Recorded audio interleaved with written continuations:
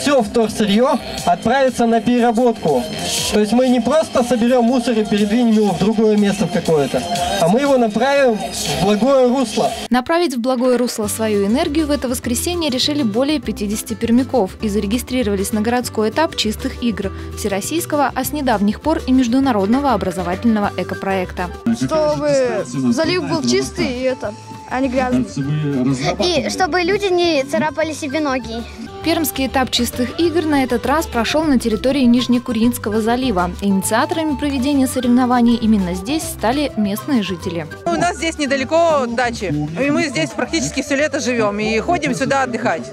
И очень неприятно, когда приходишь на речку и видишь вокруг горы мусора, которые люди просто оставляют после себя. По словам организаторов, во время соревнований по сбору отходов и вторсырья участники не только помогают очистить захламленную территорию, но и получают ценные знания по сортировке мусора. Надо собрать больше всех мусора, но делать это с умом. То есть э, сейчас э, в России принято законодательство, в том числе в Пермском крае, по раздельному сбору. Мы как раз помогаем людям увидеть э, в обычных отходах полезные ресурсы. На то, чтобы собрать как можно больше мусора, правильно его рассортировать и сдать так называемым скупщикам, участникам чистых игр дается 2 часа. Наименьшее количество баллов присуждается за смешанный мусор.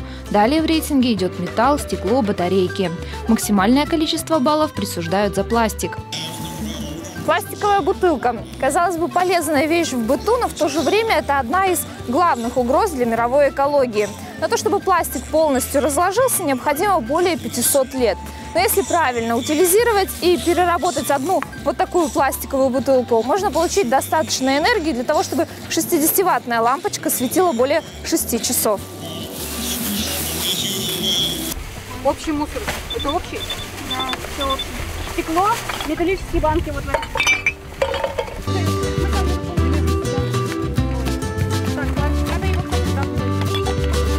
Такое количество мусора участники чистых игр в Нижнекуринском заливе сдали на один из пунктов спустя полчаса после старта соревнований.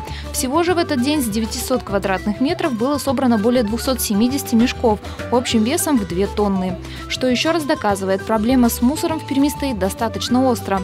Помочь в ее решении можно на следующих соревнованиях в День чистоты 15 сентября, а также ежедневно правильно утилизируя отходы.